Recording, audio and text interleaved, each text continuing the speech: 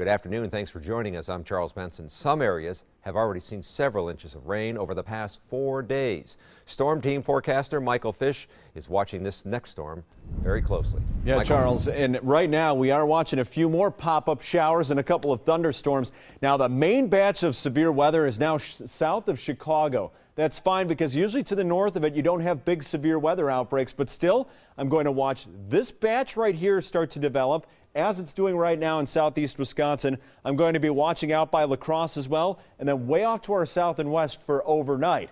Now, this is not going to be an all night rain, but check this out on our Doppler HD radar. This is a brand new shower that's popping up, and I'm sure you're probably going to start to hear a couple of rumbles of thunder soon.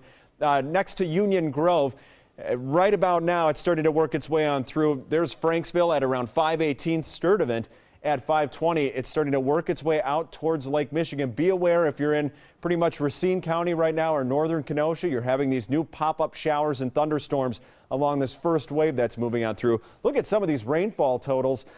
Over an inch in Brookfield from our observer George there, over an inch in Fond du Lac. We're going to add to these rainfall totals tonight.